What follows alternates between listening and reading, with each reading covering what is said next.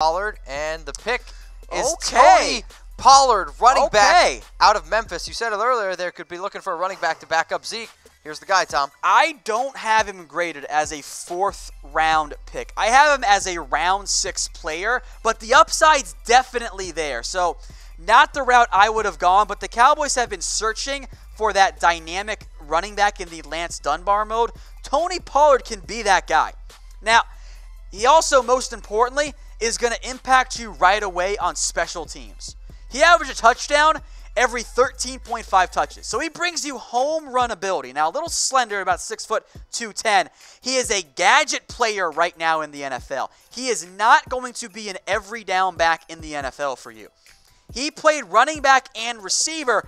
He's kind of like Andre Roberts on return, some Kenyon Barner, somewhere in that mold. Now, the biggest problem for me, he didn't test the way I thought he was going to. Only a 4.5240. I know the Cowboys brought him in for a visit. I know they liked him, but he brings you some home run ability. Good job at avoiding of avoiding tackles and all that kind of stuff. But if you're looking for that change of pace type of back, and that really potentially dynamic option. As I go through the guys on the board, he brings you the closest thing to Lance Dunbar. So I do think it's a little bit early. I thought they were going to go secondary, but Tony Pollard's going to be a fun player in the NFL. But I do kind of think it's more of an average pick. So what would you grade it? A, B, C, D, or I F? think it's kind of I think it's kind of a, a C plus grade here. I'm still waiting for my secondary help here. so Tom's giving it a He's going to make a lot of fun plays for We you. We want to see in the comment section what you're going to grade Tony Pollard to the Dallas Cowboys at pick 128. Now, I got a little bit of a surprise here. I know I teased it a little bit earlier in the show that I could potentially be having a giveaway. So here you go.